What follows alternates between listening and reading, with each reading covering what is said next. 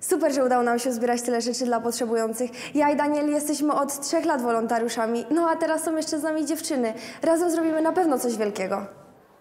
Ela i Daria po raz pierwszy biorą udział w zbiórce charytatywnej. Przeglądają przyniesione rzeczy, które coraz bardziej im się podobają. Stare, myślałam, że ludzie przynoszą serio znoszone łachy, naprawdę fajne rzeczy. Aż szkoda wydawać do tych ośrodków, nie?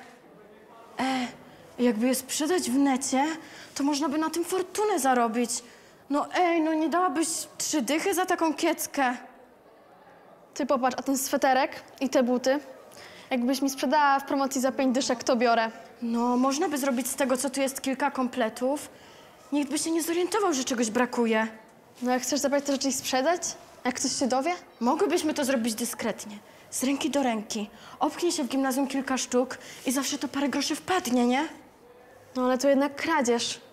Oj, nie przesadzaj, czyje to są rzeczy? No ci biedni na tym ucierpią. Jak mają ucierpieć? Mało tego jest. Zabraknie dla kogoś.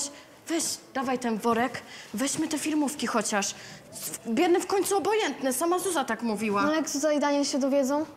Nigdy się nie zorientują. Popatrz, tych ciuchów jest tu tyle, że jak mogą się zorientować? Te buty jeszcze. Chodź, idziemy.